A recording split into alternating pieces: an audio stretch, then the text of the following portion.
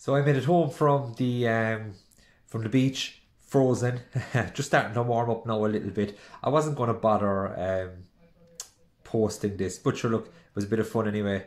Coco in the background making an appearance, but it was a bit of fun. it was nice to get out of the house for a little bit, but my God, was it cold? Three or four degrees only in the car. So hope you enjoy a bit of fun.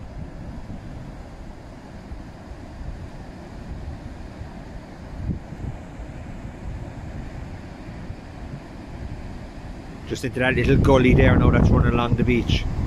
Hopefully pick up a couple of flats, maybe an old bass or two. The beach is deserted. That's just by. No bother to him.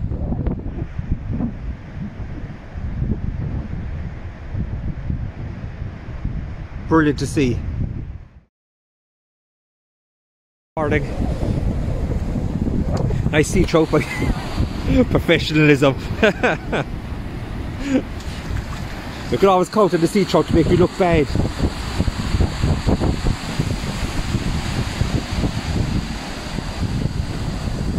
Alright, he goes.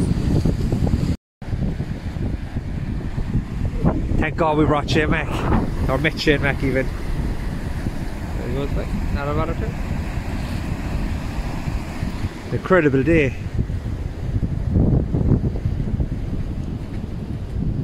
Bit of the old winter sun. Now when you have all the gear but none of the clue, you get put on tea making duties. Nice little camping stove, only a cheap old kettle from Wish. It'll do lovely though.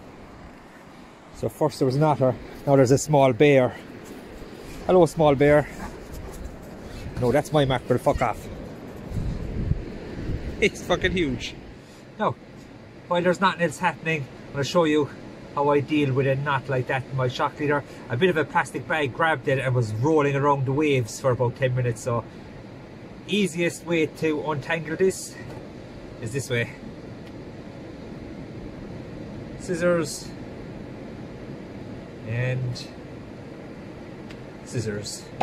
Make sure to keep this, don't dump it in the bucket. And now under pressure, time to tie a knot.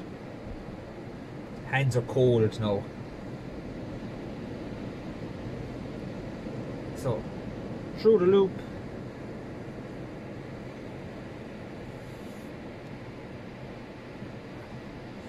The joys of winter fishing is the hands are cold.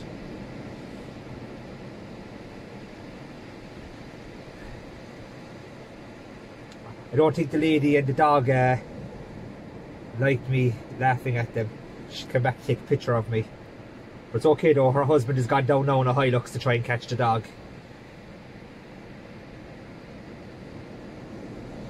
Nice and tight little knot. We're back in business. Untangling a knot like the other one would just be absolute nightmare. Now obviously uh, nail clippers or something would be a bit neater than that, but that'll do us. Literally the only excitement I'm getting all day is this family trying to tame the bear. uh, I can put them on video because they're a good bit away now. But they are definitely 25 minutes calling. I think the dog's name is Buzz. or some other choice words, but I, I don't think that's his actual name. He's got again. they're frozen. No, so I don't mind saying it. I wasn't expecting a whole pile today because generally we don't get a whole pile of uh, of good winter fishing because of our shallow venues but I was hoping for something. So uh, as soon as I get a fish out the gap. Been here now for a couple of hours. It was nice but now it's time to go home. So really hope there's a fish uh, pulling out all the stops. No more kind of messing around putting on baits kind of half-assed. Now it's full bull. Hopefully get a couple of fish. Anything will do. So still no joy. Come out of the sun a bit. So you see the rods still no joy. Uh, pretty cold now, about two degrees I think it is, even though it's sunny. But uh, I really want to go home. what? Just need a fish. I couldn't catch one, so I had to use this. I'm sorry, it was too cold. Had to do something.